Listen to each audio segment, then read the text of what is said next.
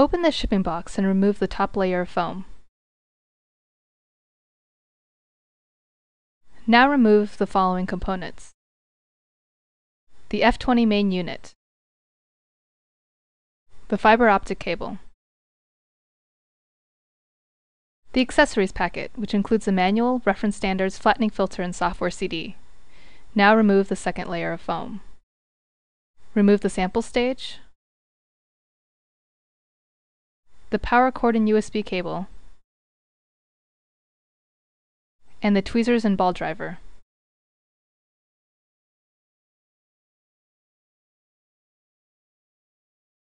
Once you've started the software by double-clicking on the FILMeasure icon, the main program window will display.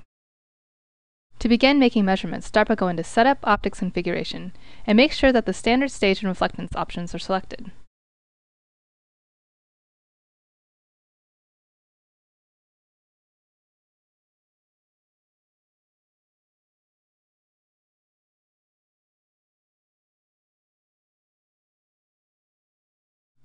Select the correct recipe corresponding to your sample. For this example, we will be using SiO2 and Si test wafer provided with the system.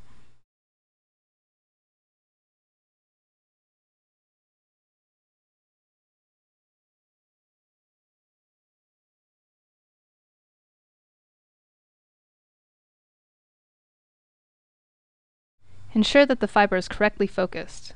For this example, as well as other silicon wafer samples, the fiber is in focus when it is pushed all the way down the lens tube until it stops. For non-Si wafer samples, please watch a separate video on focusing the fiber. Click Baseline to begin the baseline procedure.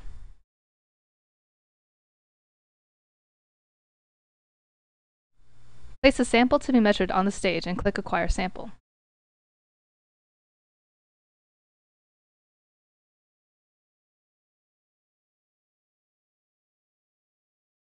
Now place a reference standard on the stage. Be sure that the correct reference standard is selected. In this case, it will be Si.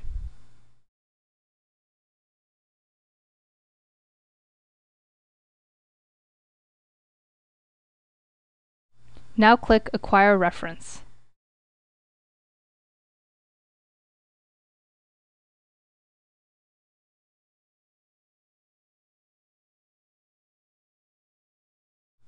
Now remove the reference sample from the stage.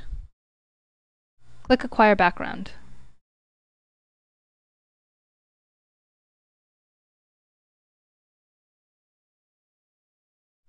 Once the status says completed, click Finish to complete the baseline procedure. Now place your SiO2 and Si test wafer on the stage. Be sure that you are measuring the spot labeled Test Here.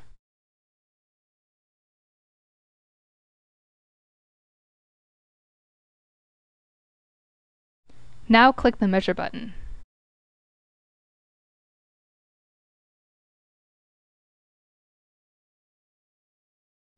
You've now completed your first measurement using the Filmetrics system.